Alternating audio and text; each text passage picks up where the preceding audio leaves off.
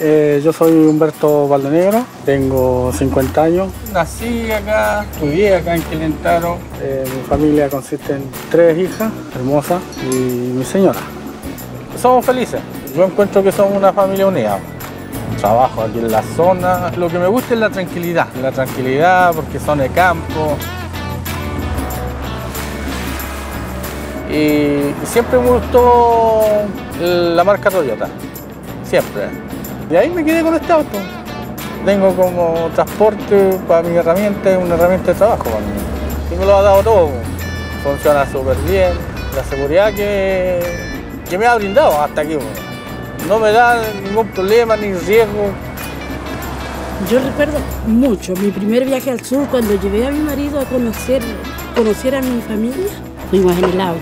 Que lo ha dado harta alegría el auto. Harta alegría, hartos paseos a mí me daría pena que se llevaran el auto, porque el auto es como parte de la familia.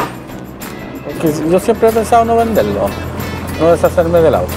Y ahora en un tiempo más va a ser más importante para mí este auto, que los vamos colocando viejos los dos al mismo tiempo.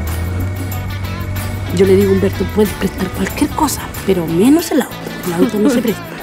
No, no es auto mío, es auto de la familia. Ese es el cariño que yo le tengo al auto, que no me ha abandonado nunca. Así que siempre voy a ser feliz con él.